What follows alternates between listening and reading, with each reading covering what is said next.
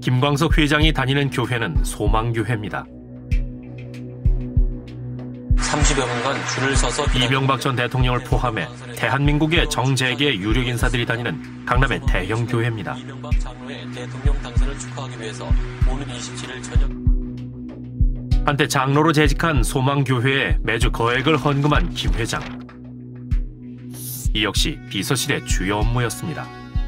회장님께서 교회를 가실 때마다 이렇게 헌금을 이렇게 조금씩 조금씩 분할해서 하시는데 그걸 기부금 형태로 이제 기부금 처리를 해야 되기 때문에 이제 그걸 재경 업무 재경하고 확인하는 차원에서 금액을 한번 확인하고 김 회장이 매주 수백만 원씩 교회에 헌금을 하고 나면 한 달에 한 번 비서실은 교회로부터 헌금 액수를 파악합니다.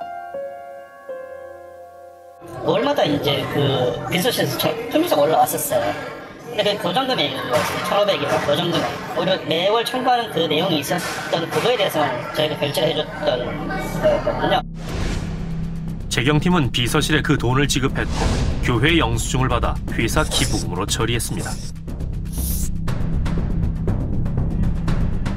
한 달 평균 천만 원 이상씩 지난 19년간 소망교회에 낸 기부금은 무려 37억 원이 넘습니다.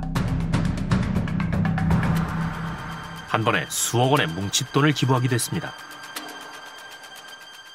어떤 경우는 4억, 어떤 경우는 1억, 어떤 경우 5천씩 한꺼번에 지급되면서 매달 1200에서 1700 왔다 갔다 이렇게 회사가 그때도 어렵습니다. 어려운데도 그렇게 기부금을 회사 돈으로 한다는 것은 있을 수가 없는 거죠. 지난 4년 동안 참전의 기부금 가운데 약 77%가 소망교회에 집중됐습니다.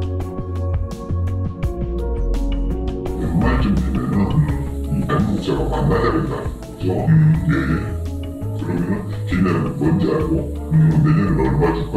음, 물어본다 그죠? 야, 얼마 줍시오, 이제. 그럼, 알았어. 그게 이제 일시불로 나가는 것 같아요. 아, 사주, 뒤에 보면 성공했다, 이게. 그러니까 목사님이 저를 좋아하실 수밖에. 그러니까 무슨 좀 금전적으로 어려운 일이 있으면 저를 좀 만나자고 그래요. 특히 적자까지 발생, 회사가 크게 어려웠던 2014년에도 소망교회 기부금은 줄어들지 않았습니다. 2010년 이후에 거의 뭐 1년에 한 번씩은 이렇게 뭐 몇 명씩 이렇게 자르고 그랬죠. 또 사람들이 착해요. 본거사직 하면 예 하고 그동안 고맙습니다 하고 나가거든요. 근데 그, 그런데 그 친구들이 잘못해서 나가는 것도 아니고 회사가 어려워서 어, 나간 거라고. 회사 돈으로 많은 기부금이 소망교회로 흘러들어간 사실을 정작 직원들은 알지 못했습니다. 저희가 물론 그 신앙심이 깊으신 건 알고 있었는데 네. 그거를 뭐 본인 돈이 아닌 회사 돈으로 갖다 했다는 거 내용은 사실은 저는 몰랐고요. 본인 급여로 한 걸로. 근데 그거는 그거는 회사 돈으로 한 거는 놀랐어. 그거는 처음 알았어. 김 회장이 장로로 재직 중인 교회에 거액의 기부금을 내는 것은 누구의 결정이었을까? 대목표. 소망교에서는 완벽하게 그 부분을 해, 해줘요. 그 세금 문제를. 네. 그 금액이 크다고 해서 뭐 그게 회사 돈이나 어쨌나 한다 그러면 저는 뭐 할 말이 없죠. 지분 자체가 100%가 아닌 부분이 있었을 때는 한 3년 정도밖에 안 되고 네. 그 전 상황은 거의 회장님 잡이라고 생각해도 과언이 아니거든요, 사실.